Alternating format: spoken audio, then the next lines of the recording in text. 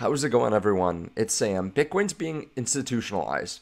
And with that come changes. There's more flexibility in what you can use these Bitcoin ETFs for. One of the big things that a lot of people like to do is to sell options, to buy options as well. And I think it's kind of crazy how the numbers work out for this. I want to explain what I mean and how much money you can actually make, whether you're someone that's going to buy Bitcoin or someone that's going to sell Bitcoin. Uh, I don't know if enough people understand really what the wheel strategy is and what you can do to make money with these ETFs. And right now, to be clear, the ETFs don't have options yet, but it's coming here very soon. And in the past, I made a 40 minute video talking about what happens uh, when you use the wheel strategy, how you can use this as a cheat code to make money. And I had done this poll. Get what's your main goal when investing? Do you want to get rich to buy whatever you want, like a fancy Lambo, or do you want to make enough money to live on your portfolio, to quit the job that you don't like, to be able to spend more time with friends, family, kids, that kind of stuff? And 75% of people said that they just wanted to live on their portfolio. Like they don't need super flashy stuff. They just want to make enough money to do what they really want to do in life. Which is why I wanted to talk about Bitcoin options and there are drawbacks to this. I'm not even saying that I'm going to do this, but this I want to explain what how this works and why it is sexy to some people. And I'm going to try to keep it brief. In this video, I went through the last video that I did. I'll put it in the end screen. I went through a lot of different scenarios uh, and how this all works out, how you can make money, how you can lose money in theory, and that kind of stuff. So if you haven't already seen that, I'll put it on the end screen. But let me explain this again here today. If you don't mind, hit subscribe, turn on the bell notification. If you want, you can trade cryptocurrencies down there at Margex, and you can make a lot of money from that if you read the market correctly. Also, there is a link down there to the indicator, HG Algo, which can really help you with dollar cost averaging and also trading as well. Now, if you haven't already got a a little of an understanding about covered calls and cash secured puts. We'll talk about that a little bit today, but basically, what options trading is, is just selling the right for someone to buy or sell an asset at a certain price at a certain time. So, like, let's say, for example, I own 100 shares of Tesla. I can tell you right now the price is 192 $192 per share. I can tell you that you're allowed to buy them from me at $210 per share, and you will go and pay me money to have that right. Now, why would you do that? The, the price isn't at $210 per share. Well, we're talking about sometime in the future. So, next week, right, I can say, you have the right but not the obligation to buy those shares from me and you don't have to pay anything more than $210. So if we get really good CPI, data or really good PCE or the Fed comes out or uh, someone says that they're buying Tesla or Tesla says that they've had an explosion of demand or something like that. And it goes up to $250. You get the right to buy my shares at $210 so that you make that extra money. Now, why would I do that? Well, I can get paid a premium. So you will pay me the right to buy the shares at $210. Now, most of the time, you're not going to actually buy those shares. I'm not going to have to sell the shares, right? Most of the time, I just get paid a premium and I still hold on to my shares. So if I was just holding and there's not much that happens, well, I get paid and I still own everything that I owned before. For a lot of people, they think of this as a pretty sexy thing. First of all, it can help you with uh, just hedging your portfolio. Let's say something runs up really hard, people are getting really greedy.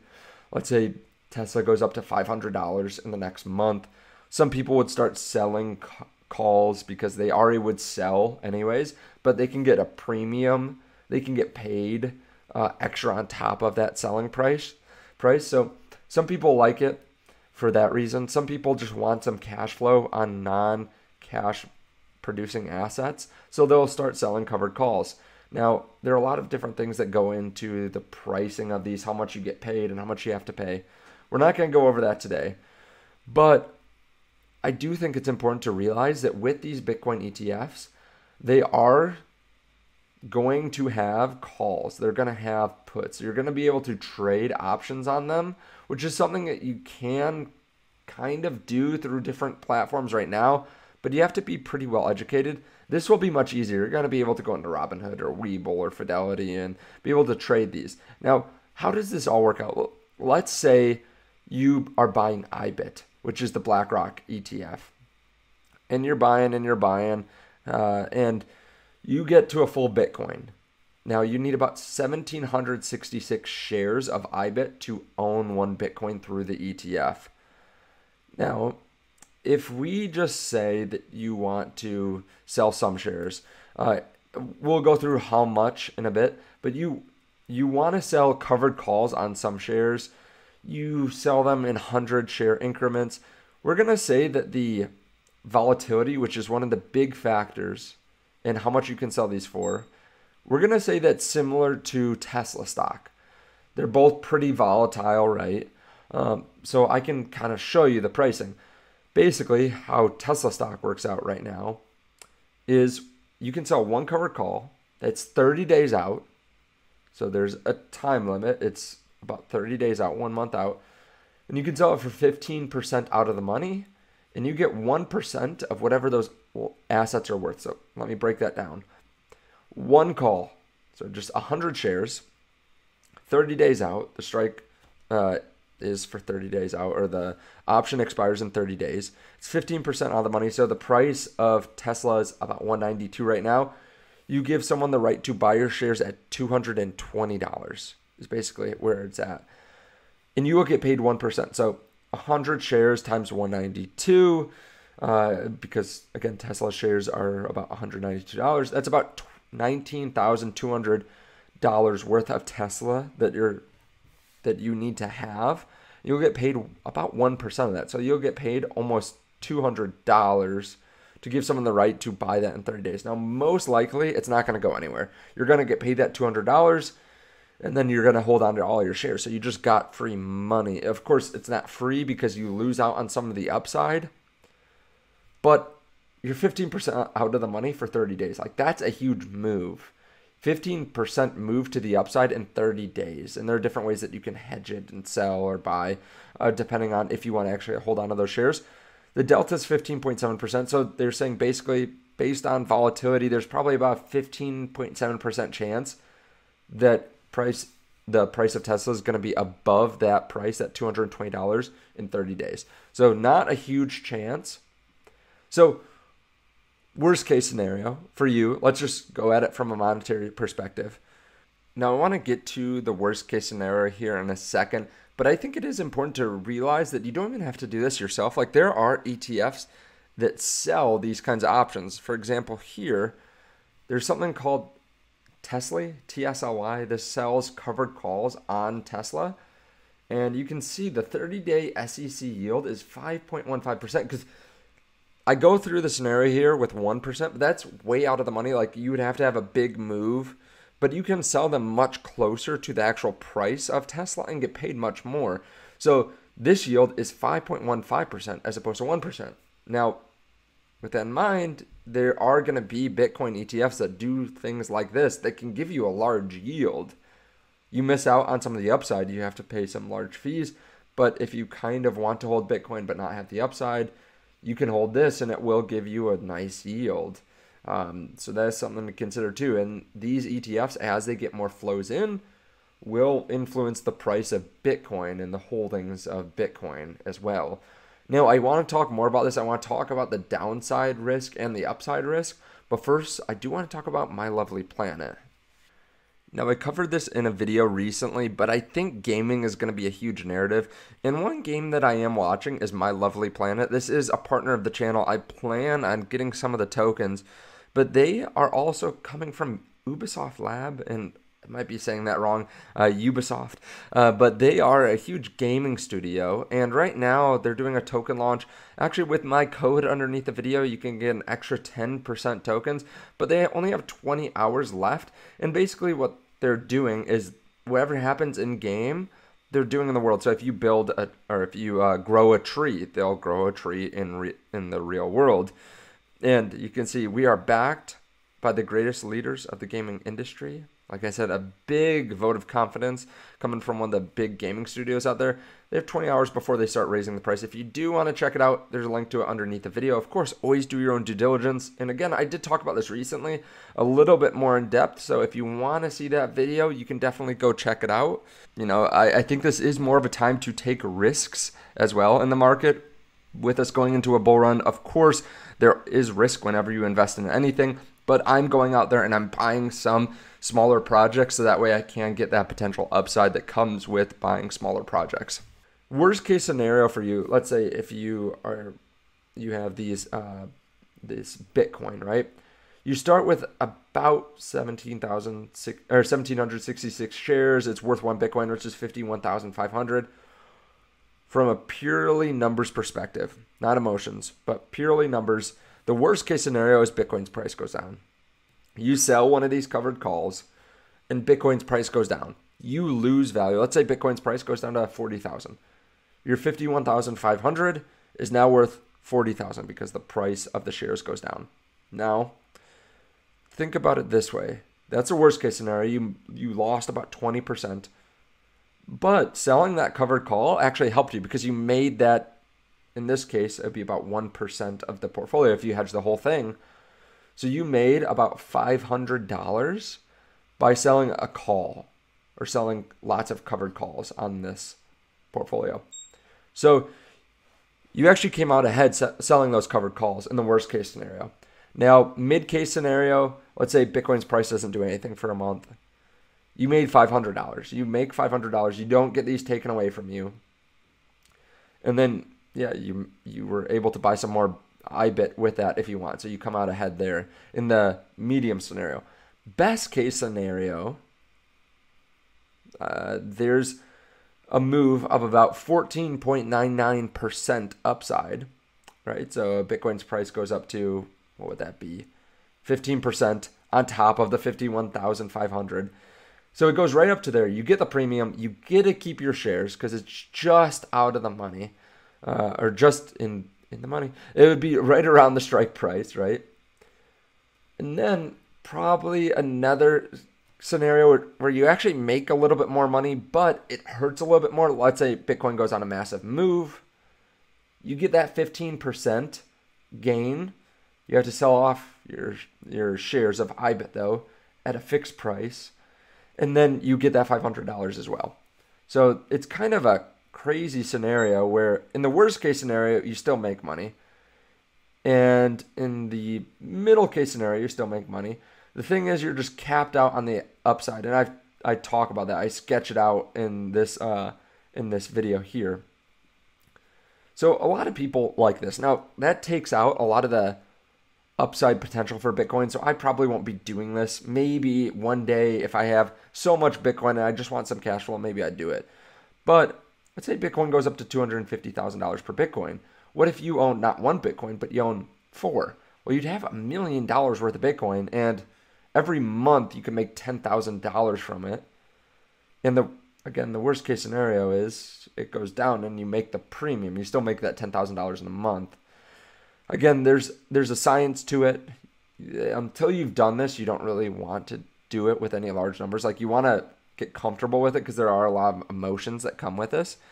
But there's also another side where you can dollar cost average and you can make money. So you give someone the right to sell you their shares at a certain price, which is another really interesting thing.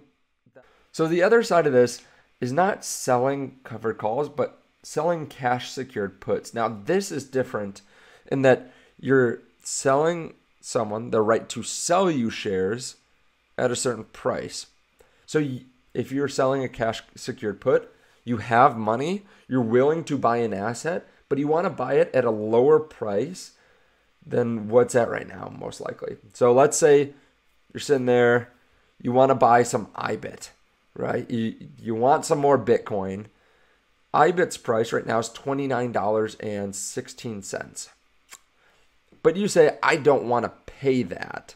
Basically, what I want to do is I want to buy if it's a little bit lower, maybe 11% lower. Let's say 11.5. Now, what does that work out to? Well, if Bitcoin's price is 51,500, you want to pay 0.885.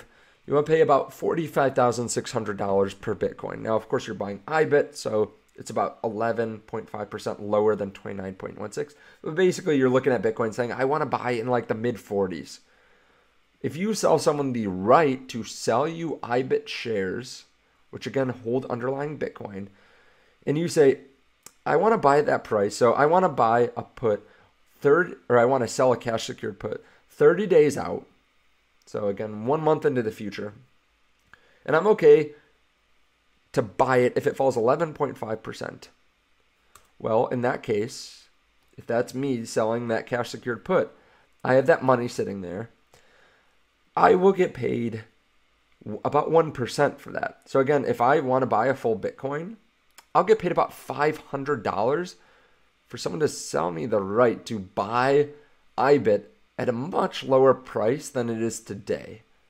That's kind of crazy. Some people like that a lot because they might want a dollar cost average, but they want to get paid some premiums in the meantime. Now, the chance of this happening is about the same as this. It's about 15% based on volatility. This is based on Tesla, again, Tesla's volatility, which is very similar to Bitcoin's. So, if you don't have enough IBIT, you can tell someone the price you want to buy and get paid if it falls there. Or get paid even if it doesn't fall there.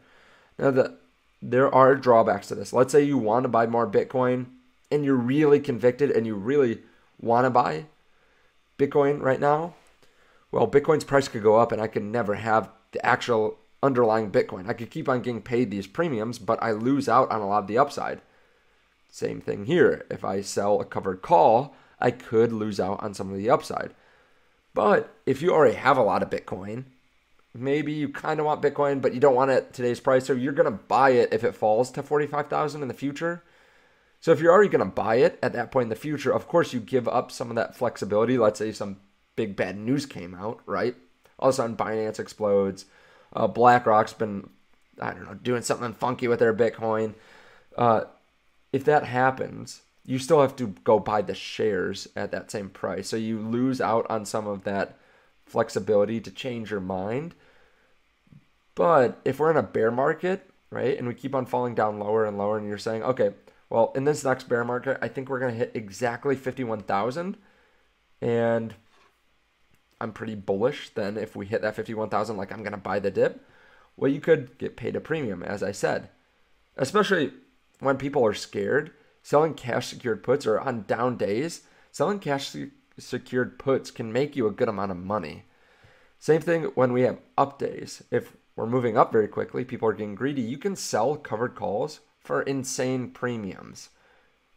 So some people do this actually with Bitcoin miners right now. Bitcoin miners are already super volatile, so you sell and buy options on it. You can make a lot of money, like way more than what we're talking about here, because there's more volatility. And I know some people that have made 20x, 50x, 100x over a couple weeks on options like this. So the the interesting thing about this is again, it's not right for everyone, but for some people they want to make income from non-income producing equities.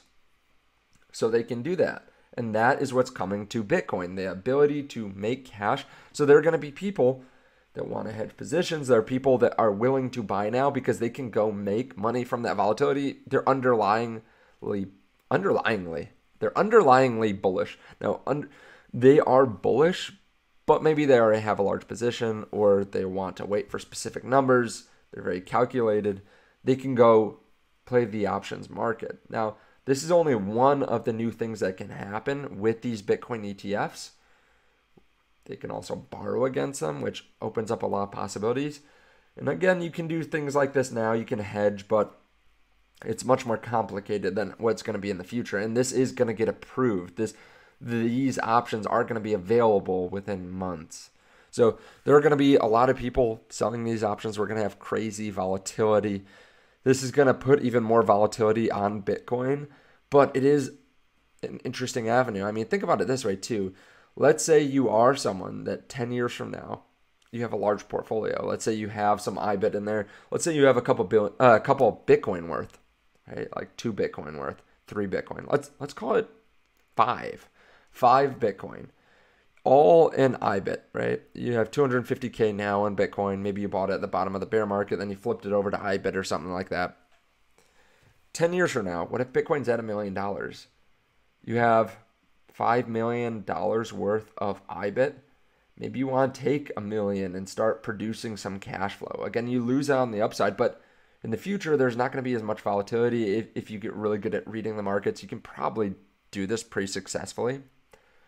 And you take a million dollars and you start making 10K a month. And uh, yeah, for some people, that's going to be really interesting, or it's just a good way to hedge at the top, right? If I already want to sell at 250K Bitcoin, why not get paid a premium, a fat premium to sell at that point? Now, the wheel strategy is a well-known, uh, well-known strategy in options, where basically you go and you sell cash secured puts. So you want to buy an under, you want to buy an asset. You sell the right for someone to sell it to you at a certain price. So you're buying the dip on different stocks. You get paid a premium in the meantime, right? You have the cash thing in your account. You say that you'll buy those shares for a certain price. You get paid to sell that cash secured put. And then eventually you'll actually have to buy those shares, right? You'll be you'll have to um, they're going to exercise that option, right? If the underlying stock falls down drastically below the strike price. So you're going to buy those shares and then what you're going to do is you're going to go and sell covered calls on it. So you now own the shares, you're going to sell covered calls, you're going to get paid more premiums. And then eventually the price of the stock's going to go up pretty quickly. The option is going to be exercised. And then you're going to sell those shares because you sold the covered call. And then you'll have the money again. Then you'll go sell a cash secured put. And it's just this wheel strategy. It's every step of the way you get paid a premium. Now you can still lose underlying assets depending how you do it, but some people really like this because it is always yield producing. Or if you haven't already looked into this, like I know people that are super into crypto, super smart into crypto. They've been in crypto for seven years. They've been in since 2017, and they don't know how puts and calls work. They don't know how options work. You're going to need to learn this. This is going to be important, right? This is going to be a tool that you can use if you want to. It's going to be a tool that a lot of other people use, though. So you at least have to understand it. Again, I do have that longer video talking about it that I'll put on the end screen. The title of it is This Can Make You So Much Money. And in a down market, selling covered calls can be super powerful. Now, again, I probably won't do this. There's just too much upside in Bitcoin, but I do want to explain it why it is a big thing that's happening because it brings more investors into Bitcoin. And again, these ETFs buy the underlying asset. So it is cool. Let me know your thoughts on this underneath the video. Again, you can check out Margex, you can check out MLP underneath the video, and you can check out that algo as well. Thank you so much. I appreciate it. I will see you in the next one. Bye.